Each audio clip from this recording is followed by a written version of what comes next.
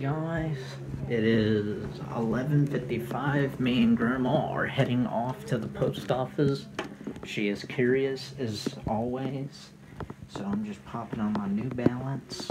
Ooh, I love these shoes. They are so comfortable. It is 12.56 right now, and I was looking at Grandma and I noticed she was wearing a bigger jacket. And I was like, Grandma, that's my jacket. No, this, no, no, no, you can't go. No, Ryan, you can't come. Nope, gotta get in the window now.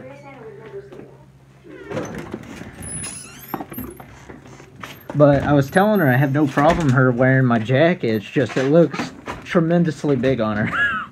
it's funny. But anywho, it is cold. It's it's actually uh, 47 degrees right now. Holy crap. The actual real factor is probably colder than that to be honest. Let me check right quick. I wouldn't doubt it. Yeah, it's 44 degrees. That's what it feels like. though. Oh well.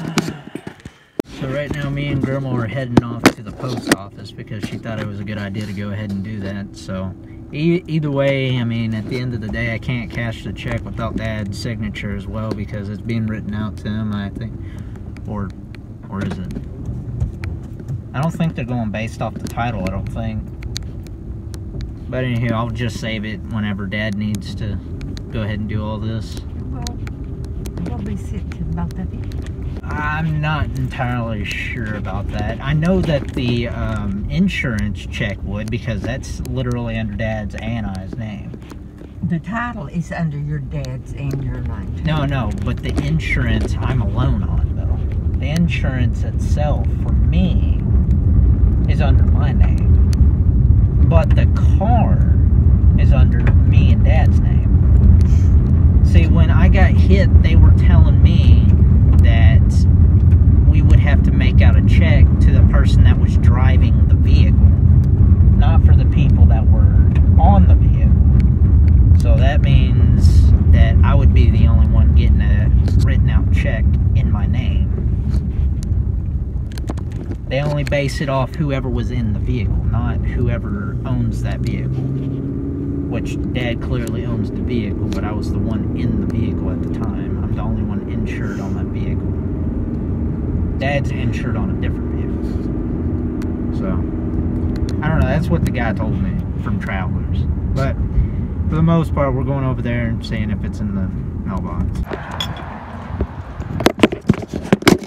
Alright, guys, we ended up making it over to the mailboxes and we are looking to see if it's here, which Grandma's going to be very disappointed to see that it's not in here.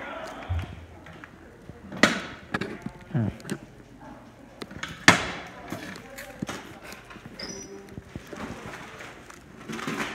All Grandma, all we got was Grandma's insurance stuff. So, nothing. Well, other than your stuff, but I don't know why they keep on sending you stuff. Jesus Christ, how many? I don't know. I think that's probably the important documents that I was talking about. They said they'd be they would be sending a lot, so oh well. Yeah, nothing in the mail today. Alright, that'll be the thumbnail. Hmm. Day. It's glorious day. At the end of the day, me and Grandma made it back. No luck besides information from her insurance at least. Which I'm having to think that it's going to deal with what that exclusion thing was. Which was a big mess, but I don't know. Dad's going to have to figure it out himself to figure out what I'm talking about. Because I tried to explain it last night when I woke up. Um, to go use the restroom, then I told him about it and he was still confused, so when he gets up and everything, I think he's gonna actually figure out what's going on. And Dad's up already. Huh, what do you know? Since Dad's up and everything, I do, uh, I will help him a little bit, so I'll be back in a few. It is 12.26 p.m. right now, and Dad was kind of confused about the whole ordeal. I don't think he's gonna mess with it today, and tomorrow they're not gonna be open. So we're gonna have to wait until Monday and Dad's gonna wake up extra early, go down to the nearest shelter insurance, which actually is in Alma, and he's going to take all the papers there, you know, take it to him and figure out what the big mess is, what the big fuss about everything is. Because basically, they ended up giving me the $400 check, and after all that, they ended up giving me papers that saying that I was excluded, which the guy told me not to do anything with the papers, but keep the check and everything would be fine. Because without those papers being signed and clarified by the people, uh, which would be my grandma and my dad, then that's all right. But I don't know. We're going to figure it out and see what's we're about to find out. And it's just crazy right now because dad doesn't really want to deal with it. But i'm gonna have to be on family pack thing because if you live under the same house with separate insurance like different policies or something like that it can be pretty daggum expensive. But i don't know. But anywho i'm gonna make some pizza and that's what i'm doing and i'm not even gonna really worry about it.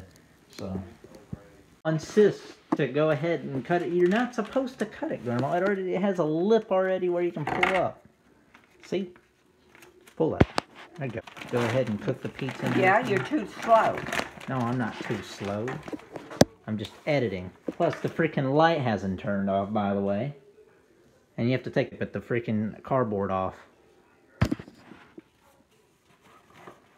There you go. There you are. Did you even see what time it had to be put, put in there?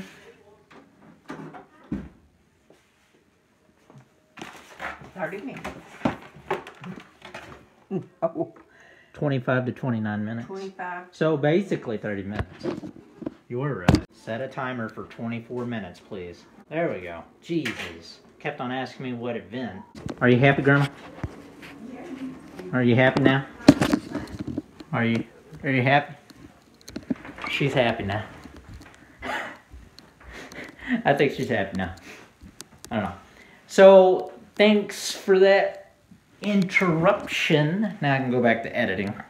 Alright, my watch was telling me my pizza was done, so it is done. So all I gotta do now is turn that off. Turn that off. I know it's old as crap, but it's so simple and well built. Wow! I think I, I cooked that a little too much. That was like the first time I went over. Jesus. Mm-mm-mm-mm-mm. It's still edible. It's just kind of a little too brown. But the only way to find out if it's too good, like too bad, like too burnt, is to look under it, really. Bottom, it's actually just right. It's just the top, it seems like it gets burnt too easy, I guess. I don't know. Hmm. But that's what happens if you don't let it preheat. Grandma, over here, didn't want to preheat. She wanted it jumped in. She wanted it in the freaking oven. She wanted it cooking and everything. She wanted that crap done. But, you know, at the end of the day, it's still edible. Uh, it's still going to taste as good as it is. It's just going to be a little crunchy on the cheese, I guess. But, oh well, I'm not too fussed about it. Pizza is pizza, and it's still a good pizza. So, seems like it's just going to be a short day today. It's 4.04 p.m. right now. I mean, it's just, there's nothing. There's nothing. I just can't go anywhere. Don't got a vehicle. There's nothing else to do. But, I mean, Grandma didn't want to make any dinner today, so she decided to make leftover soup, which there's nothing wrong with that. Soup's better the second day as well. And Ron's like, what do you got for me? Huh? What do you got? What am I coming after? I don't even know what you're after. I guess it's the water. Maybe, maybe it's the oh, water you're I was looking going to see if Well, I think I'm gonna go ahead and sit down and eat. I don't even know. I don't even know. I don't even know. Hmm. Freedom! Freedom! Oh, someone died? No. I guess they almost hung that black man. He had the marks around his neck. And, uh, he told him to go on to that wherever he was headed for, and he he had some money in uh, it would, he would send his wife and baby. Ah. Fair enough. So it's about a black person escaping. Well, isn't that a cheerful Thanksgiving way to start out your freaking Thanksgiving? Um, but anywho, guys, uh, I think I am going to end it on that note. it is 5.02 p.m. right now, and there's nothing else to do. We just went to the post office. That's it. that is it. So, that pretty much covers my day. but anywho, guys, like, subscribe, comment, share it, live it, love it, go to the bathroom with it, whatever it may be. So God help me. God is good all the time, all the time God is good. You know how I am. Stay tuned in for more glorious videos. Until next time, stay awesome, bros.